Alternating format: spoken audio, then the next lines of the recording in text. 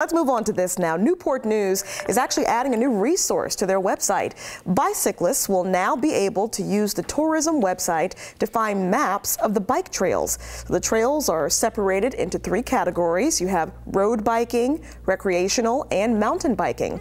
A brief description of the six trails is also available, and that includes the length of each route.